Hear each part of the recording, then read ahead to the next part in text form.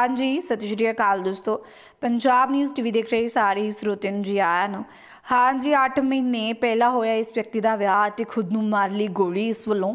ਵੱਡੀ ਖਬਰ ਆ ਚੁੱਕੀ ਹੈ ਖਬਰ ਨੂੰ ਸ਼ੇਅਰ ਕਰਨ ਤੋਂ ਪਹਿਲਾਂ ਜਿਨ੍ਹਾਂ ਲੋਕਾਂ ਨੇ ਚੈਨਲ ਨੂੰ ਸਬਸਕ੍ਰਾਈਬ ਨਹੀਂ ਕੀਤਾ ਸਬਸਕ੍ਰਾਈਬ ਕਰ ਲੈਣ ਤੇ ਵੀਡੀਓ ਨੂੰ ਵੱਧ ਤੋਂ ਵੱਧ ਲਾਈਕ ਤੇ ਸ਼ੇਅਰ ਵੀ ਕਰ ਦੇਣਾ। ਤਰਨਤਾਰਨ ਤੋਂ ਵੱਡੀ ਖਬਰ ਸਾਹਮਣੇ ਆਈ ਹੈ, ਇੱਥੇ ਨੌਜਵਾਨ ਨੇ ਖੁਦ ਨੂੰ ਗੋਲੀ ਮਾਰ ਕੇ ਖੁਦਕੁਸ਼ੀ ਕਰ ਲਈ ਹੈ।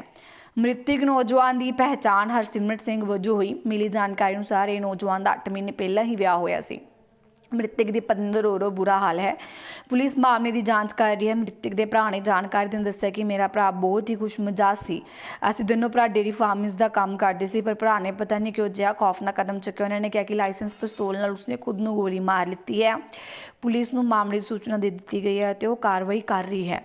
ਜਿਸ ਦੇ ਕਾਰਨ ਲੋਕੀ ਬਹੁਤ ਜ਼ਿਆਦਾ ਪਰੇਸ਼ਾਨ ਨੇ ਕਿਉਂਕਿ 8 ਮਹੀਨੇ ਪਹਿਲਾਂ ਹੀ ਉਸ ਦਾ ਵਿਆਹ ਹੋਇਆ ਸੀ ਤੇ ਉਸ ਦੀ ਪਤਨੀ ਜੀ ਹਾਂ ਰੋ ਰੋ ਕੇ ਬੁਰਾ ਹਾਲ ਹੈ।